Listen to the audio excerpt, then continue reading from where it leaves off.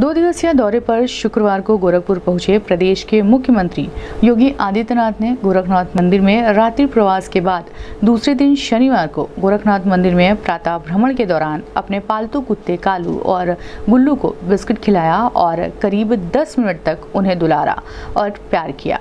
इस दौरान वहाँ मौजूद लोग इस पल को कौतूहलपूर्ण देखते रहे। उसके बाद मुख्यमंत्री योगी आदित्यनाथ अन्य कार्यक्रमों में शामिल होने चले गए।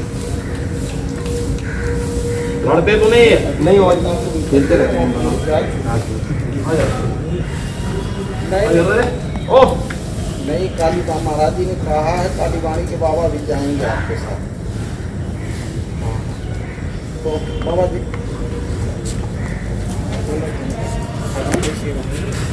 इधर रहे ए।